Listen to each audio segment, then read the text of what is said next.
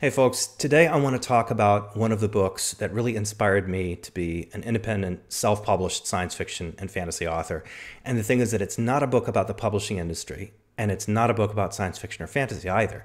It's a book about the independent music scene in the 1980s in the United States. And it's a book called Our Band Could Be Your Life by Michael Azerrad.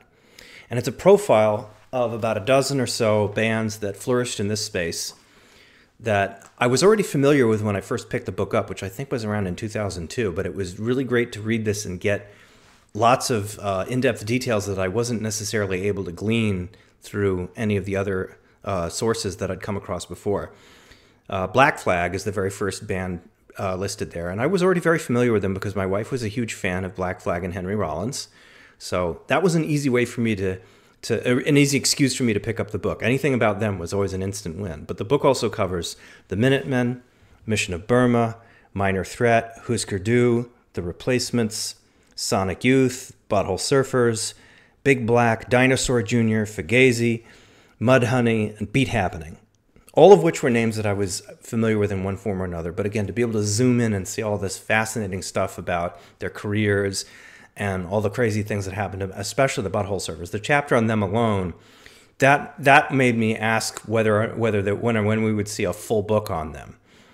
So, I uh, I found myself devouring the whole thing in about the course of a couple of days. It was a wonderful read, and as I was reading, I kept noticing a pattern with a lot of these bands that was uh, impossible to ignore after a certain point. And it was a pattern that I was familiar with already from having read about other bands in the same spaces that were even further down the food chain. And the pattern went like this you have a bunch of guys, or guys and gals, and they get together and they decide they want to form a band. And so they just get whatever equipment they can, they just figure out whatever they can do with it, and they just perform in whatever space they can find for whatever audience is listening. And they scrape together some loose change and they get a record pressed and then they sell it out of the trunk of their car at their gigs or whatever. Just they don't wait around and they don't try to look for the right moment to do things. They don't look for they don't look for validation and they don't ask for permission. They just go and do it for whoever's going to show up for it. And at the time this was a really powerful message for me because I had this idea that the only way to really do anything in this space was to do it in a way that would that would get validation from the right people or in in the right space and then you would be you would be one of the elect as it were. And as time wore on i began to realize this was a delusion that you could just do whatever it is that you wanted just put it out there in whatever form you found attractive or, or functional or useful. And whoever showed up then you just made a community with them and you just did it you know with them. There were bands that would come and perform in somebody's basement for six other people you know when they couldn't find a gig and you know, to me that felt like uh, you know just having a poetry reading with your friends, as it were.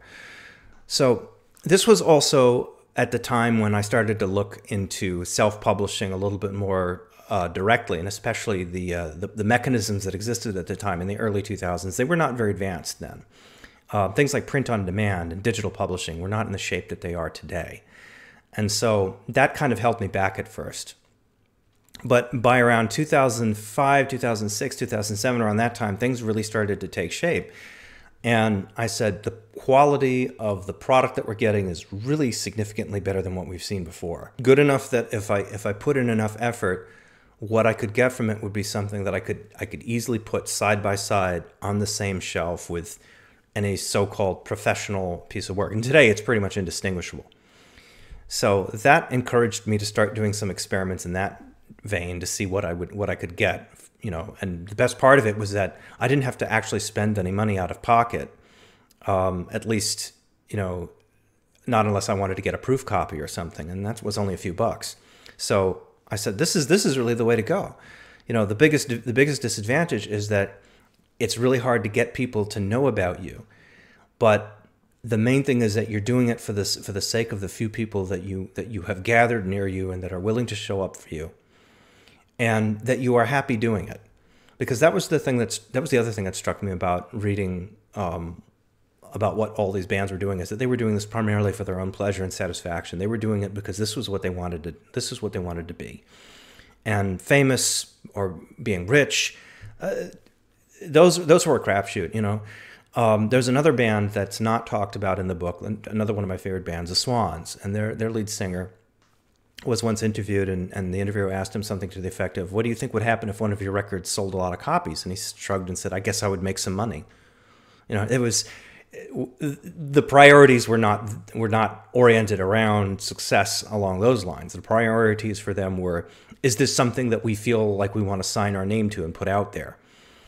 And I realized after a lot of introspection that I felt the same way. That that was that was what I wanted to do. I wanted to be somebody who would who would get this out for whoever wanted it in whatever space I could, as long as it was something I was proud to sign my name to. And that's a big that's a big thing for me. That's probably the biggest thing for me. So again, the book's called Our Band Could Be Your Life by Michael Azerrad. It is still in print. In fact, the the most recent editions in digital format are probably a whole lot easier to come by than this hardback, which I have I have hung on to after moving something like uh, four times now.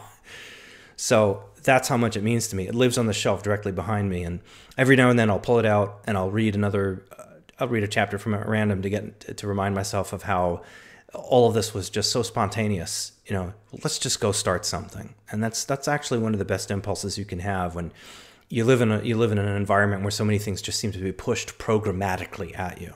And it's great to just have a certain degree of spontaneity. So that is one of the big influences on me as far as self-publishing goes. And like I said, it's probably not what you thought it was. Just thought I'd talk about that for a little bit. So see you around.